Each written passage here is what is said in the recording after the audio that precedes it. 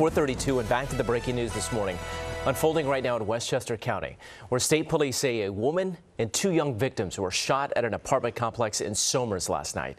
And we just learned one of the victims has now died. Police now hunting for the gunman and Eyewitness News reporter Phil Taitt live outside the Westchester Medical Center with what we know about this manhunt underway right now. Phil?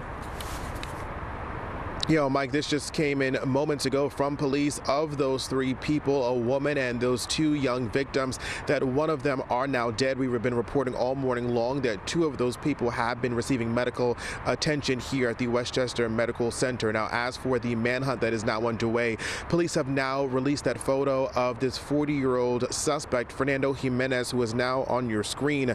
Now, New York's uh, state police say this this 40-year-old is who they're trying to track down, who they say was last seen in Putnam Valley and is familiar with the victims. Now, police say they to do not make any contact with this suspect as he's believed to be armed.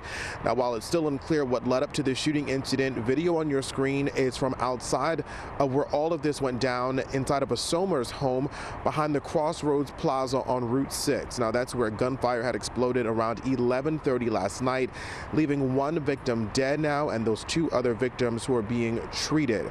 Now, we're still awaiting to learn more on the conditions of those two surviving victims. New York State Police are now leading an active investigation to track down this suspect. Again, if you do see this person or have any information, do not approach this man who has been identified as Fernando Jimenez as he may be armed. Finally, they're saying that he was last seen wearing black sweatpants and a gray sweatshirt at the time of the incident. We are live outside of the Westchester Medical Center this morning. I'm Phil Taitt, Channel 7 Eyewitness News.